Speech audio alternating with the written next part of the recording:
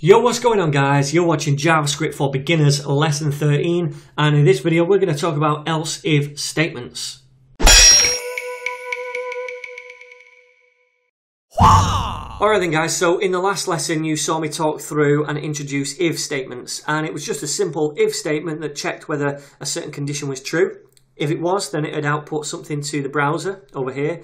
If it wasn't true, then it would fall back on the else statement which would output a different um, text to the browser. So what if you want to check for multiple different conditions? Well, you can use what's called an else if statement and that tags along on the back of an if statement and I'll show you what I mean by this. What I'm going to do is declare a variable called my, oops, my age. I'm going to put that equal to 29. And then what I'm going to do is write a simple if statement to say if my age is over 30 then I'll document dot write. So I'm going to write out to this document over here. You are over 30. Okay?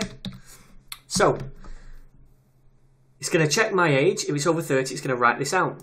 Now, in the past, in the previous lesson, we wrote else, and then we did a catch-all else here. So if it didn't equate to that, if that was false, then we'd do an alternative backup. Now, what if I want to check multiple different conditions like this? Well, I can do that by writing else if, and then we can put a different condition in here. So I could now say my age is over 20, and I'll copy this over here, and I'll paste it within here, and I'll just change that to 20. So this time I'm saying if it's over 20, so if it's not over 30, but it's over 20, I can write you are over 20 to the document. And likewise, I can do another else if, and this time I'll say if my age is over 10, do another code block, and then paste this in again, and I'll change this to 10. And this time I'm checking if the age is over 10, I'll write this out. And then finally, we'll just do an else, not an else if, just to catch everything else.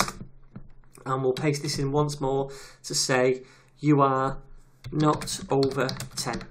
Okay, so the way this works is this. We start at the top and my age is assessed. If it's over 30, then we write out this. If it's not over 30, we skip this and we go to the next one. We say else if my age is over 20. If it's over 20, then it writes out this one. If it's not over 20, then it skips it and goes down to this next else if. Then we evaluate my age to be over 10. If that's true, then it writes out this to the document, you are over 10. If it's not, then it skips it again. And this is the final catch-all.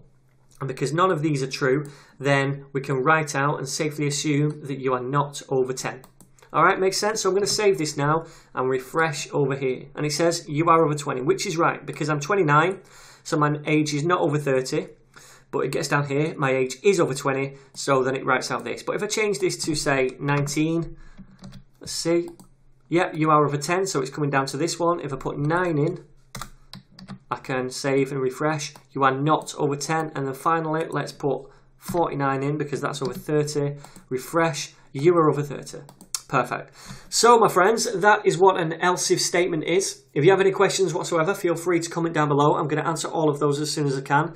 Otherwise, if you enjoy these videos, please like, share, or subscribe, and I'll see you guys in the next one.